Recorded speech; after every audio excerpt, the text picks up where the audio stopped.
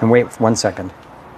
Hey, Kevin, Craig Johns here. Just wondering, I know you do a lot of things in uh, disaster relief and you've been doing it for years and years, 30 plus years, with uh, the BP oil spill being the lead and also isotopes of nuclear problems in Japan.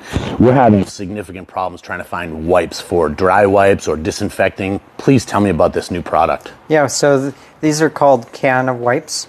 And um, what it is is it's an industrial package, five gallon container, and it contains uh, a cartridge that you put in that has 270 really heavy duty towels.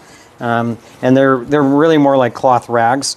They're woven, not glued, and so they stay really strong even when wet.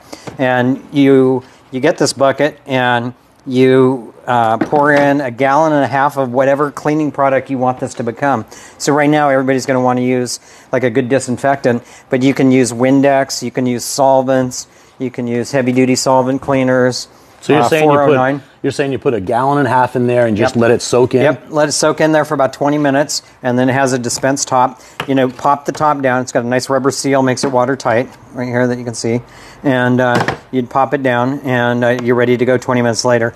So they, they come out the top like this, and uh, they're, I think, 10 and a half by about 13 inches roughly, and they're heavy duty towels. I mean, these things are not toys. So give a demonstration, So- like just on the edge yeah, of the bucket so there. So you, just, do your surface do your- disinfecting. you do your surface disinfecting. You want to make sure surfaces stay wet for ideally 10 minutes, but a lot of these products have a 30 second to one minute kill time. what about when this is empty? So- what do you do? you can buy a refill for it. Okay, cool. Or just get another cartridge. Um, the, Nice. They're a super inexpensive way of doing this, and the beauty of it is, is you have control over how wet you want your towels.